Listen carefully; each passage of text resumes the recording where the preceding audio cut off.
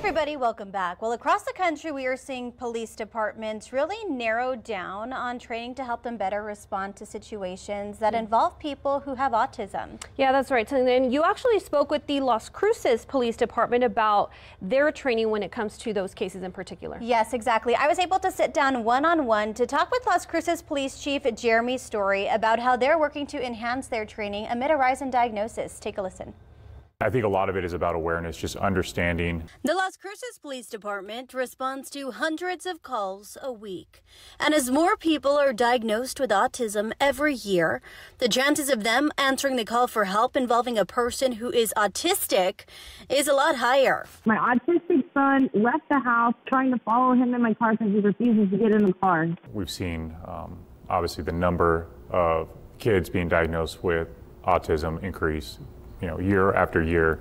And so those kids become adults, and our interactions with people with autism are only going to increase. So we wanted to get in front of it and, and do what we can to help the department partnering with a local nonprofit. Probably about five years ago, we partnered with Hearts for Autism. Creating this training plan to help officers identify and respond to people who are on the spectrum. Every academy goes through it, and then everybody went through the full program three years ago and then again this year. And then we partnered with another um, organization for this year to do um, some additional training and then include scenarios that they do with law enforcement. I obtained the 2021 training plan in its entirety. It breaks down the statistics from 2000 to 2020 of those being diagnosed. The most recent data on this plan from 2020 showing 1 in 54 people were diagnosed with autism.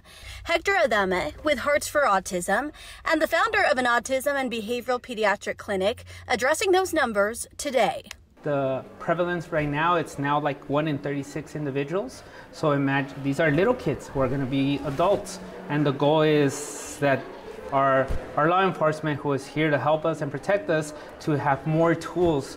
Adame is the man at the forefront of this training for officers in not only the Las Cruces Police Department, but in the El Paso Police Department as well. Level of training right now that's being provided that I, I get to be a part of, it's an eight hour training for law enforcement. I've been specializing on autism for 24 years now. So the goal is to give them some insight of what to expect what to expect to help this person, what kind of difficulties this person might be running into. And in many cases, to consider that verbal dialogue might not be your main tool.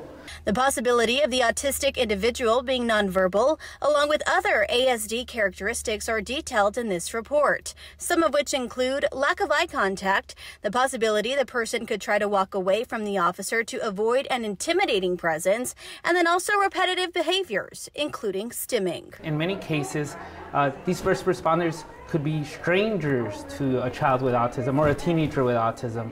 And the goal is to provide law enforcement and first responders with training on how to interact during those cases when it's an individual with, uh, with autism or related uh, developmental deficit.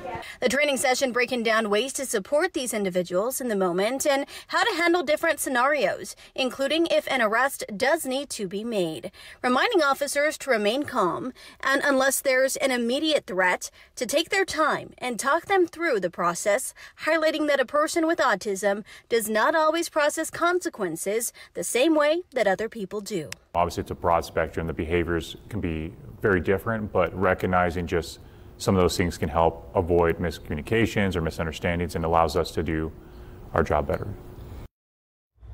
Yeah, definitely an important partnership there. And Selena, is there other tips that Chief Story told you about to continue to help them better um, those call outs? Yes, so you obviously heard that 911 audio during that story there. Well, I was able to request that from the Mesilla Valley Regional Dispatch Authority, and they yeah. sent that to me, and that was from a mom in Las Cruces who called 911. And what you notice is they immediately, the mom identified that her son involved was autistic. That is exactly what you want to do. If you're calling 911 and you know the person involved, involved has autism, let them know as soon as possible because then they're able to have a heads up on that, take that into consideration and provide better service. We're going to go ahead and post the entire lesson plan that I was able to obtain of this training and what exactly it entails on our website at kfoxtv.com.